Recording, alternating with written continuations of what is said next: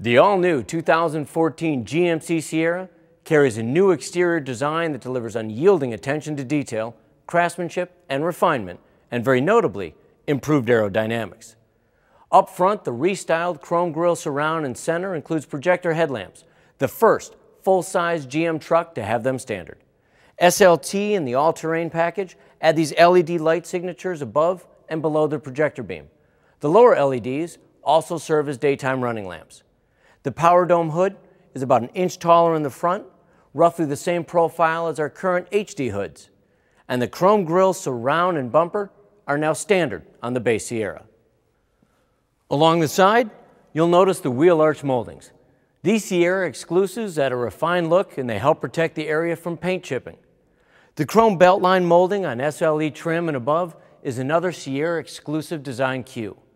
The cab of Sierra is completely redesigned. Instead of upsizing the crew cab to create more rear seat room, which would have added weight, we moved the B pillar forward, thinned up the front seats, and moved the rear seat back a bit. This helped us gain two inches of rear legroom. It also made the front door slightly smaller and the rear door slightly larger, making rear seat entry easier. Now the doors appear to be the same size and the cabin looks longer than before.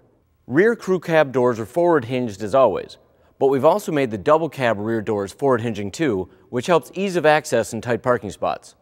All cabin doors are now inlaid, which means they integrate into the body side instead of wrapping around to the roof. This creates a very refined look and allows the use of triple door seals for a quiet cabin.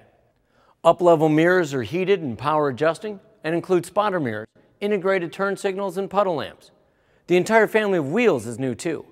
This 20-inch chrome wheel is available on the SLT here. 17-inch wheels are standard on base Sierra, and 17-inch aluminum wheels are now standard on SLE. SLT gets standard 18-inch alloys, and there are more new 20-inch wheels available on SLE, SLT, Denali, and all-terrain. Finally, 22-inch chrome wheels are available through accessories. Sierra's new pickup box is full of advanced features that improve functionality. These new corner step rear bumpers give you easy box access from either side, even if the tailgate is down. They've got a high traction surface and they're big enough for work boots. And the rear stake pockets are shaped to give you a nice hand grip for easy pull-up. We've also added more box protection with new standard box rail protectors. They're tough, durable black plastic. You can see they've got GMC branding. You'll find that the easy lift and lower tailgate is easier to operate.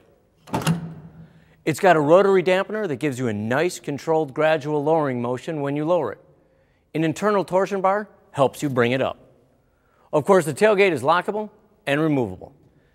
Inside the box, you can see there's no compromise between function and craftsmanship. New standard upper tie-down hooks are rated at 250 pounds each, and you can place them in any of the nine holes that you see positioned around the top of the box. A set of four upper hooks will be standard on all models, but your customers can order more from the parts department.